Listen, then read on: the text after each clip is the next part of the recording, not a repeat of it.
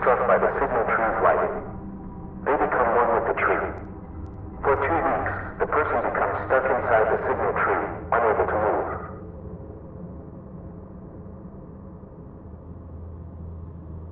After two weeks have passed, the signal tree's inner skin becomes softer.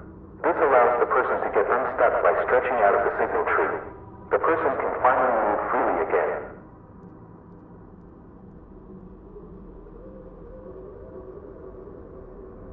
Due to the side effects from the lighting, the person's body shrinks and their head grows. They will also start to form small wings while their hair grows longer. This takes about four to five days to finish, and once again they're officially a signal head.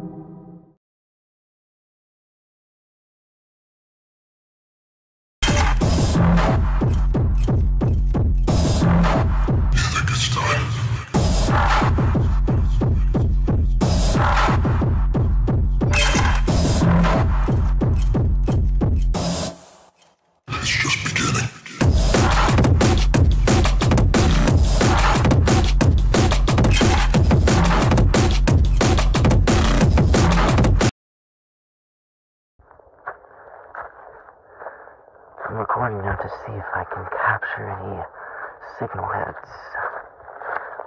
Wish me luck.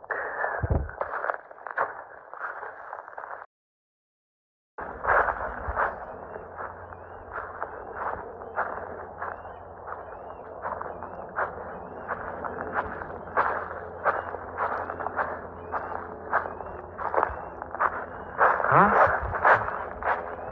Um, hello? Listen, Andrew, please don't do this. You're gonna get yourself killed. Oh, Kevin, Kevin, don't worry. I'm just, I'm just gonna capture them from a distance. But dude, what if they spot you? Damn it, bro. I'm not gonna die, Kevin.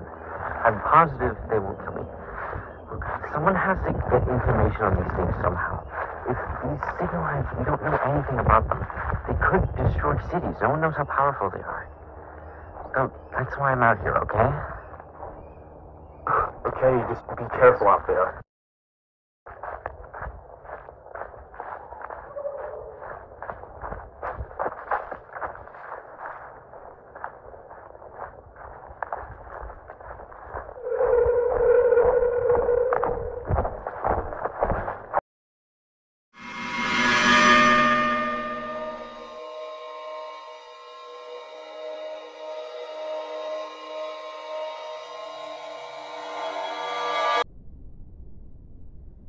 Andrew Smith.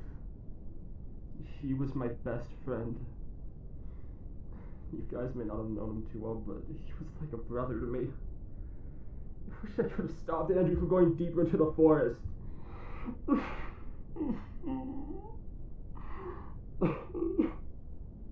Maybe things could have been different.